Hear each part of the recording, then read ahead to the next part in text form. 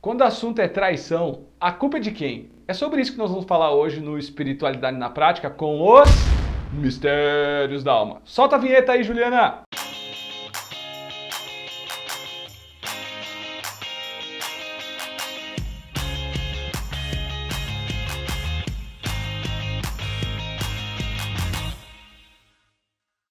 Olá, eu sou Bruno Gimenez, seja muito bem-vindo a mais um Espiritualidade na Prática, onde a gente desvenda os mistérios da alma. Eu, a Juliana e a equipe Luz da Serra estamos aqui todos os dias para ajudar você a se ajudar, para ajudar você a ser o mestre da sua própria vida e viver a essência do que é espiritualidade. Eu aprendi há muito tempo atrás que espiritualidade não é nada, não significa nada se você não transformar em sucesso pessoal. E o que é sucesso pessoal? Ser feliz, é ser próspero, é, dar risada, viver sua missão de vida, ter saúde, ter felicidade, ter amigos, ter uma família decente e ter as coisas funcionando bem. Isso quer dizer o quê?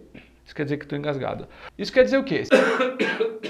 Isso quer dizer que você vai ter problemas. Ah, eu sou espiritualizado, eu nunca mais terei problemas. Não, você vai ter problema. Mas quando os problemas vierem, você trata os problemas de um outro jeito. E você terá metas, como todo mundo tem metas. Alguns não têm mas você vai saber o que fazer mais e melhor para atingir suas metas. Isso é o conceito de espiritualidade prática, universalista, que é o que nós fazemos aqui todos os dias com mais um episódio, todos os dias. Ou seja, você não tem desculpa para dizer, ah, eu nunca tive acesso à informação, ou, ah, nunca ninguém me ensinou, ah, só existem cursos pagos. Olha, se você falar isso, você está assinando o seu atestado de preguiça, de preguicite crônica. Uma das coisas que mais nos perguntam aqui é quando o assunto é traição, a culpa é de quem? E eu pergunto para você, quando o assunto é traição, a culpa é de quem? Pois é, eu já quero que você coloque aqui embaixo, antes do final do vídeo, para eu ouvir a sua opinião, saber o que você pensa, mas é um assunto muito delicado. Para a gente falar sobre traição, a gente precisa analisar pontos diferentes e situações diferentes. Primeiro, o que é um relacionamento? Relacionamento é quando duas pessoas se unem por afinidades. E essas afinidades precisam se manter juntas ou não, de acordo com o que a pessoa quer de acordo com as próprias afinidades. Eu sei que parece enrolação, mas deixa eu explicar melhor o seguinte. Nós temos três missões básicas de vida aqui. A primeira é curar as nossas inferioridades, as nossas emoções, e transmutar elas em amor, em alegria, em coisas boas. Então é uma missão com a gente. A segunda missão é nos harmonizar com outras pessoas. A psicoterapia reencarnacionista chama isso de nos harmonizar com espíritos conflitantes. Espíritos conflitantes é qualquer pessoa que você tem, tem problema, tem crises, tem complicações, tem dificuldades. E a terceira missão é gerar bons exemplos. Uma das coisas que as pessoas confundem é que elas acham que missão de vida é gerar bom exemplo. E é também. Mas se você não cuidar de si e não harmonizar suas relações com outras pessoas, você não está vivendo sua missão não. Então isso é genericamente é a missão de cada um. E o que acontece é o seguinte, não há nada melhor do que o contato com outras pessoas para a gente saber quais são as nossas emoções boas e ruins para a gente tratar. Num processo de traição, é um processo em que um casal, uma pessoa junto com outra, não interessa se é homo, se é hétero, se. Aqui nós estamos falando de traição conjugal, mas pode ser qualquer tipo de traição se você for olhar. O que acontece é. Enroscou. Quando duas pessoas se encontram, uma reflete na outra os seus aprendizados. Quando duas pessoas se encontram, uma aflora na outra os seus gatilhos. Gatilhos são situações aparentemente negativas que tiram do outro uma emoção ruim. Então você fica bravo com o outro porque ele fez, mas na verdade você não está bravo com ele pelo que ele fez. Você está bravo porque a brabeza, o sentimento de se irritar é seu e o que o outro fez é um instrumento. Na traição é a mesma coisa. Os dois lados têm aprendizados, o traído e o traidor. O traidor, por que, que ele trai? Porque ele não se sente completo, porque ele tem problema de lealdade, porque ele tem problema de honra, ele tem problema de princípios morais. O traído, por que, que ele foi traído? Porque ele não sabe se dar o valor, porque ele não sabe dar limite, porque não se valoriza, porque mendiga, porque mendiga, mendiga, mendiga, mendiga. porque mendiga, porque é, não se sente corresponsável, porque não se valoriza, ou porque atrai sempre pessoas que o traem para sentir aquele sentimento desgramado de se sentir passado para trás. Eu não sei se você já foi traído, mas eu já fui traído algumas vezes. Você já foi, Léo? Já tomou umas grupinhas? E você, Rafa? Já? Uhum. Não, vocês, vocês estão sortudo aí. Me lembro muito bem que algumas vezes aconteceu comigo. E a situação foram duas vezes que aconteceram comigo. E, e a situação é terrível. Eu fiquei me sentindo a pior das pessoas, já faz bastante tempo, bastante mesmo. Eu tinha uns 20 anos, eu acho, 22, eu não me lembro. Mas eu me sentia pior das pessoas. E aí que tá. o, a traição é justamente para aflorar esse sentimento de me sentir pior. Eu fiquei em crise por um bom tempo achando que ninguém mais me queria, ou que eu era insuficiente, que eu era inferior. Então, esse é um dos motivos. Na traição, qual é a culpa? Não existe culpa. A pessoa que fez errou, está fazendo coisa errada, está fazendo caca, não é louvável, não é certo, não é correto. Ele errou. A pessoa que recebeu a traição, ela tem um aprendizado com isso. E por mais que seja difícil dizer, ela também atraiu esse tipo de pessoa. Porque o aprendizado que ela tem tem atraído o traidor. Tem atraído esse tipo de pessoa. Ficou atraído que trai, ficou estranho, mas é isso que quer dizer mesmo. Então, num processo de traição, de quem é a culpa? De quem é a culpa, Léo? De quem é a culpa? De quem trai ou de quem é traído? E tu, Rafa, de quem é a culpa? Dos dois. Dos dois. Se for colocar a culpa, é dos dois. Agora, os grandes seres não trabalham com culpa, eles trabalham com a palavra aprendizado. E eis o ponto. Por que você atraiu essa pessoa que te traiu? Por que você entrou no relacionamento e você sucumbiu, você traiu? Por quê? Porque você está buscando. Quem trai? Está buscando no outro algo que falta. Está sempre transferindo para o outro, está sempre buscando uma emoção nova, está sempre buscando algo novo porque se sente vazio. E o que é traído? Porque está sempre transferindo a responsabilidade para o outro. É a mesma coisa em polos diferentes, mas é o mesmo sentimento. Um não se sente bom o bastante, um não se sente completo o bastante, não se sente satisfeito o bastante, não se sente grato o bastante, está sempre querendo mais, mais, mais. Não está bom. O outro outro é justamente igual. Falta, e é, mas só que ele se apega a uma pessoa, o outro se apega a vários. Nenhum dos dois está certo.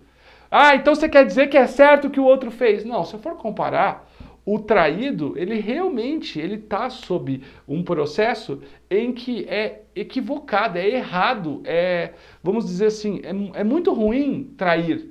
O traído, ninguém apanha ou ninguém é julgado por ser traído, como é julgado por trair. A pessoa que trai, vê de regra, é mais julgada do que a que foi traída. Pela sociedade, é claro. Então é claro que você tem mais direito pela sociedade que nós vivemos de ser o traído do que ser o traidor.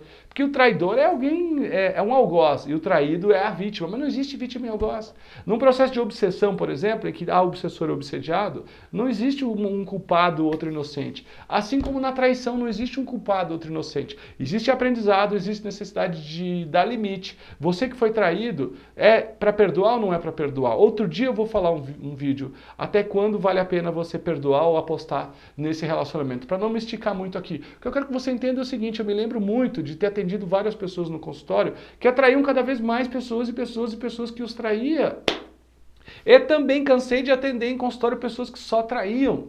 Eu descobri um padrão nelas, o mesmo. O que só trai está se sentindo vazio. O que é traído está se sentindo vazio e ele se apoia na outra pessoa. Ele coloca toda a felicidade na outra pessoa. Então, quando você é traído, um, vai curar a sua autoestima. Dois, vai ver que você não nasceu colado, vai ser forte independente de outra pessoa.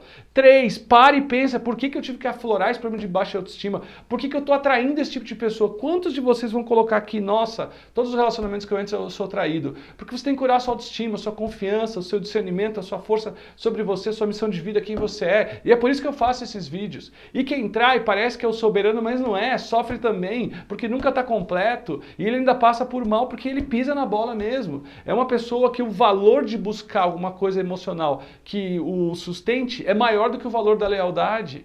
Então é complicado os dois lados, pessoas que não estão completas, pessoas que vivem vazio no peito, pessoas que não têm autoestima e por isso que é tão grave. E hoje eu fiz um vídeo aqui com um incrível buquê de ervas aqui. O incrível buquê de ervas é aqui também, tem algum lugar, tem mais e mais ervas aqui e outras ervas. Essa erva que tem aqui, não sei se dá para ver, tá dando para ver, Rafa? Uhum. Aqui eu tenho espinheira santa, uma erva de terceiro chakra, atua nessa região. E aqui eu tenho arruda, a ruda é uma planta muito utilizada para as pessoas que querem, que traem, que traem, que traem, que falam, nossa, não posso ver um rabo de saia, que eu já vou lá e me encanto. Por quê? Porque a ruda trabalha desejos não realizados, a pessoa que está sempre insatisfeita. A espinheira santa, no entanto, trabalha mau humor, quanta gente mal-humorada. O poejo trabalha quarto chakra, amorosidade, relacionamento. O gengibre, que eu não trouxe aqui, trabalha, por exemplo, a questão da, da docilidade, que é uma expressão que não existe, foi eu que inventei agora, mas é que essa coisa doce entre, dois, entre duas pessoas num casal. Porque o que, que faz dar errado num relacionamento? O que faz dar errado num relacionamento é quando um começa a cobrar do outro que o outro não pode dar. Quando um não tem dentro de si aquela força, aquela energia e vai buscar no outro. E é isso que é a culpa. A culpa é de quem transfere para o outro. E eu acredito que a energia das plantas pode mudar a nossa realidade. E é por isso que eu sou rodeado delas, por isso que eu já escrevi vários livros sobre curas naturais, terapias naturais, e por isso também que eu quero te convidar para participar da quinta edição do Circuito das Ervas. É um evento 100% online, 100% gratuito, que para você se cadastrar você precisa entrar num link que tem aqui na descrição desse vídeo, se você está vendo pelo celular. Se você estiver vendo pelo computador vai aparecer um link no vídeo, mas se estiver vendo pelo celular só dá para ver na descrição do vídeo. Você se cadastra e participa do circuito das ervas e você vai ver o curioso caso de pessoas e mais pessoas e mais pessoas muitos estudos de casos comprovando que é possível sim utilizar diariamente, como eu estou fazendo aqui, ou com chás, ou de qualquer outro jeito, a energia das plantas para preencher o vazio da sua alma. Vazio da sua alma que muitas vezes gera o estado de aproximar pessoas que te traem. Vazio da sua alma que muitas vezes gera o estado de, de ser o traidor, de tá, nunca estar tá satisfeito numa relação. Qualquer uma que seja a sua situação não é nada legal. E uma coisa eu falo, não dá para julgar agora. O que você não pode é deixar de lado. Se você quer saber como usar, por exemplo, a energia das plantas para mudar a sua realidade, clica aí, se cadastre, você vai participar dessa série incrível de vídeos. Mas ela fica no ar só alguns dias. Bom, esse foi mais um vídeo do Espiritualidade na Prática. Eu espero que você tenha gostado. Espero que você comente aqui embaixo. Espero que você compartilhe esse link que você der um joinha se você gostou. Mas acima de tudo eu quero lembrar que se você não é inscrito no canal, você precisa clicar nesse solzinho que tem aqui ou nessa sinetinha que tem aqui quando você vê pelo celular, para você garantir as notificações. Quer dizer o quê? Toda vez que vier um vídeo novo, que acontece todos os dias, você recebe no seu celular ou no seu celular aparece uma mensagenzinha, ou no seu computador, quase derrubei o negócio, ou no seu computador vai aparecer lá uma mensagem, um e-mail que você recebe dos nossos vídeos. Eu acredito em você, senão não estava aqui. Eu sei que você pode fazer a diferença. E eu sei que qualquer que seja a situação que você está vivendo hoje, quando você tem um ambiente enriquecido certo, o método certo, e você treina, você muda a sua realidade. É por isso que eu faço o que eu faço. E é por isso que sistematicamente eu tenho visto todos os dias pessoas comentando quanto elas estão mudando suas vidas com esses vídeos diários. É isso aqui que falou foi um. O que, que falou mesmo? Quem que sou eu? Oh, deixa eu olhar minha identidade, esqueci quem eu sou. Bruno! Obrigado. Aqui quem falou foi o Bruno Jimenez para mais uma Espiritualidade na Prática. Até o próximo vídeo. Valeu!